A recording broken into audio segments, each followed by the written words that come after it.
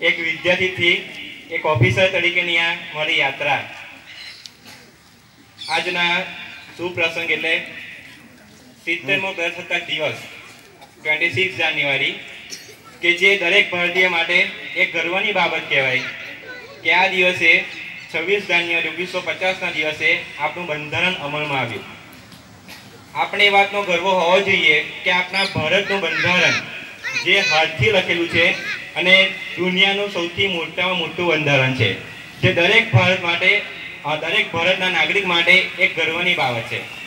એનું ગર્વ આપણા બધાને પણ હોવું જોઈએ.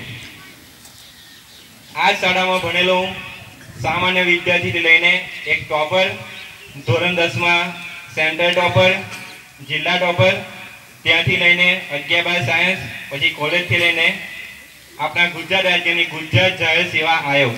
જીપીએસસીની એક્ઝામ પાસ કરીને એક વિદ્યાર્થીને લઈને એક ઓફિસર તરીકેની યાત્રા. બહુ જ મારી આનંદદાયક રહી છે.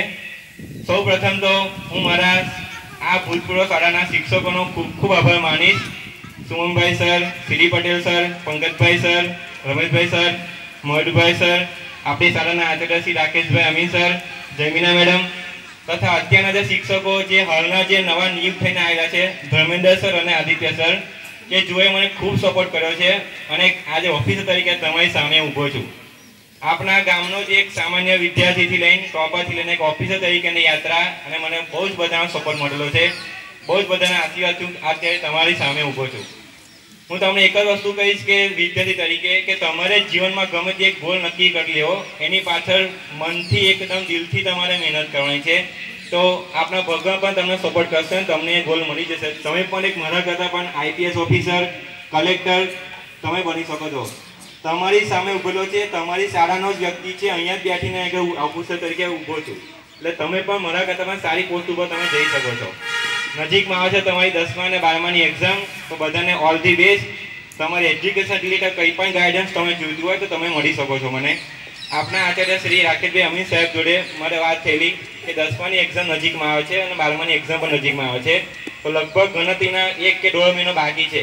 તો એકથી દોઢ મહિનામાં તમે એવું શું કરી શકો કે તમારા માર્ક્સ વધારે આવે, તમારે સારો ગ્રેડ મેળવી શકો? એ પણ આપણે એક સેશન રાખીશું. તો એ વખત તમને થોડું વધારે હું ડિટેલમાં કહીશ કે તમારે આગળ કરવાનું છે શું એ.